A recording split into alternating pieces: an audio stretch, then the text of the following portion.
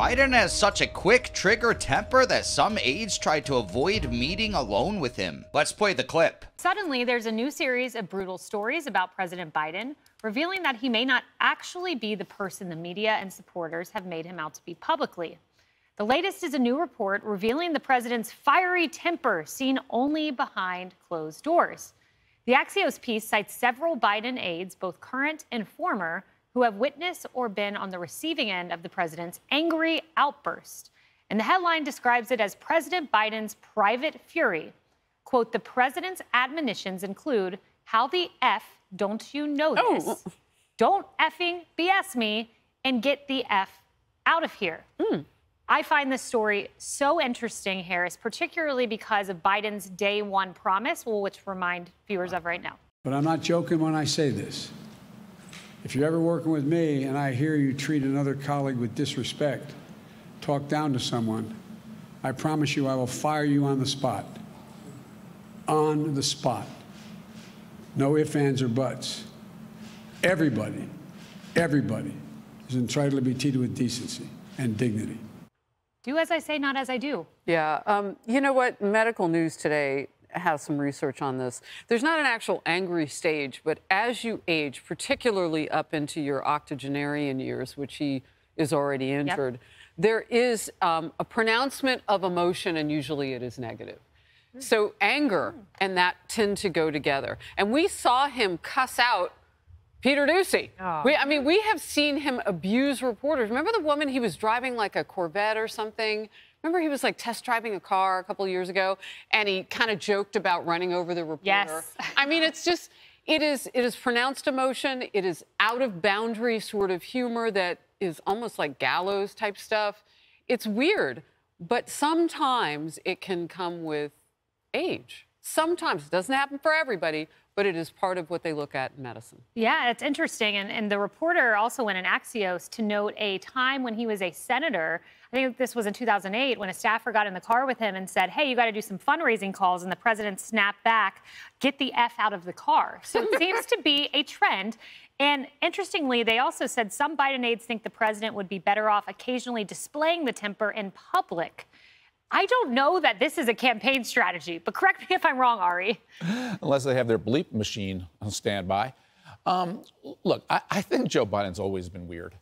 I mean, re- remember when Joe Biden but talked weird, to a constituent? angry, and off color are kind, kind of different. Add them all up. Um, but he had a constituent once who, who he challenged to a push-up contest. Yeah. And, and, just, and he challenges people to go behind the school, behind the gym, and fight. He did that with President Trump. He whispers to people, "Don't tell you know, mother." It, it just Biden's got this quirky way he always have of acting tough. But now the private stuff that he says, until Kayleigh made the point about it, contradicts his opening day promise. I was going to say that you know I'm fine with it. I don't care. Everybody's got their boss with quirks. Some people have tempers. As long as the staff still can speak bluntly to the president and not fear that if I say something, he'll chop my head off. This is what seems like's going on, though. And he probably does it for no reason when he's confused, which seems like is happening quite often nowadays. He most likely has a bunch of yes men working in the White House that are scared to go against him. So if he wants something, it's probably going through with no questions asked. Or they just do what they want behind his back. That's definitely a possibility. And seems like that actually happens quite often. Either way, though, definitely not good. We all know he has this temper.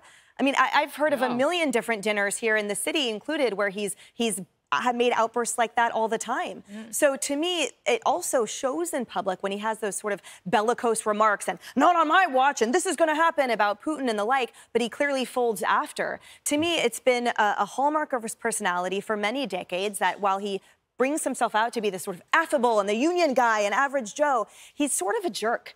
And this yeah. type of, of bellowing out, the outburst, the swearing, none of it is likable whatsoever. So again, this puts him back in the bottom of the barrel with Kamala for likability.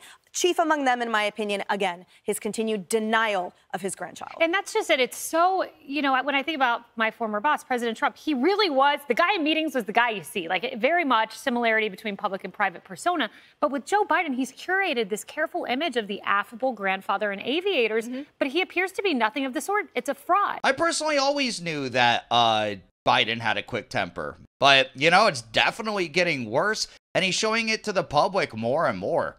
And I'm sure the whole thing with Hunter being investigated isn't helping this at all. He snaps at reporters constantly, and that is actually maybe why the media is starting to turn on him. Personally, I don't really think that the harsh language is a big deal, but like they said in the video, Biden tries to have this picture perfect image, which is super ironic because it seems like he's actually the exact opposite of that. But you know, that's just my opinion of the story. What is your opinion? Please let me know in the comments below. Also, be sure to smash that like button, subscribe to the channel for daily news updates, hit that notification bell, and share this video to help spread the news.